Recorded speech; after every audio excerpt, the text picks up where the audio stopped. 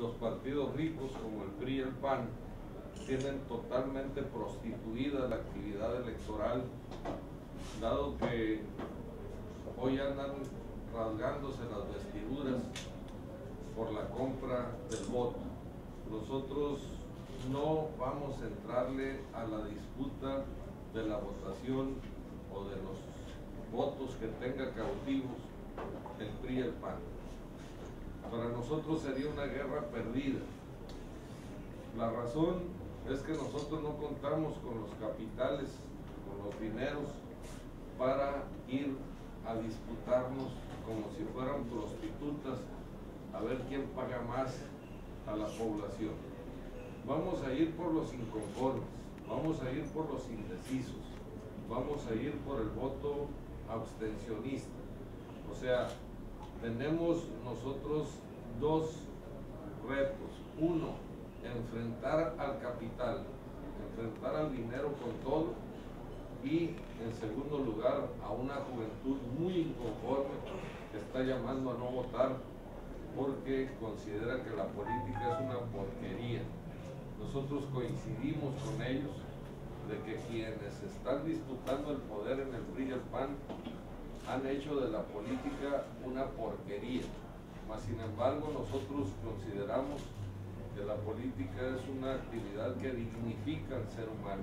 Creemos que ya ha sido tanta la suciedad y el lodo que se han embarrado uno y otro candidato de los partidos ricos que puede llegar a caer cualquiera de los dos.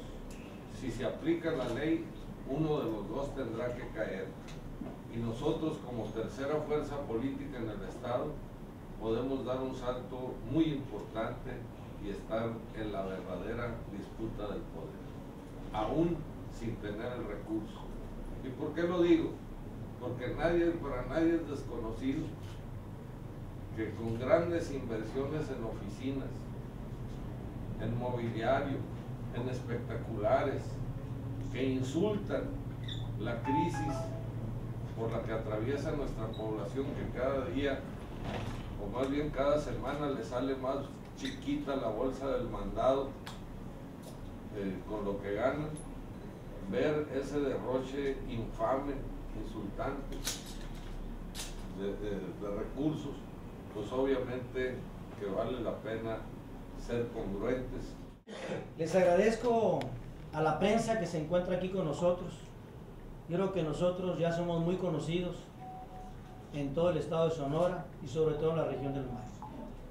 Para mí es un honor precisamente estar con ustedes, pero precisamente para mí es un honor llevar a cabo este proyecto, este proyecto de muchos años, es un proyecto prácticamente que nos enaltece. Creo que a todos los compañeros candidatos aquí presentes, es un honor para nosotros estar al lado de Jaime Moreno Berry. Estamos ya listos para el triunfo electoral.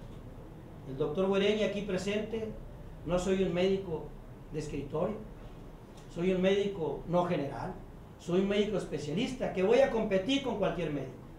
Soy médico especialista que me dedico en mi hospital a salvar vidas.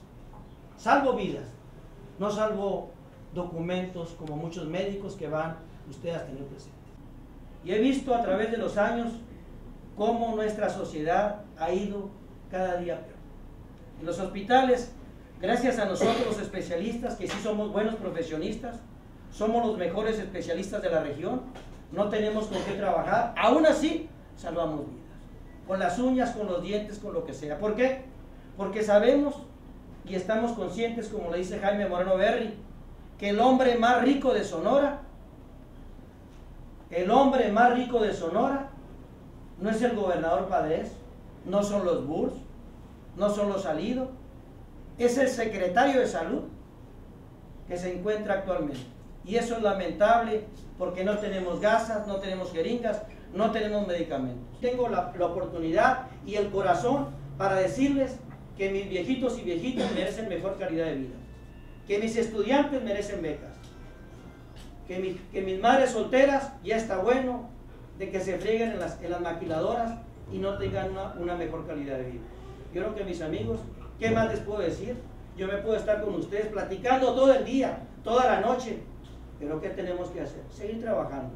Les agradezco la mañana y, y seguimos viéndonos durante dos meses y esperemos ser del agrado de ustedes y sobre todo quiero decirles que el Partido del Trabajo para mí es un honor. No conozco la dirigencia nacional, pero tampoco desconozco su trayectoria, pero para mí sigo siendo de izquierda, seguiré siendo y quiero que sepan que seguiremos aquí.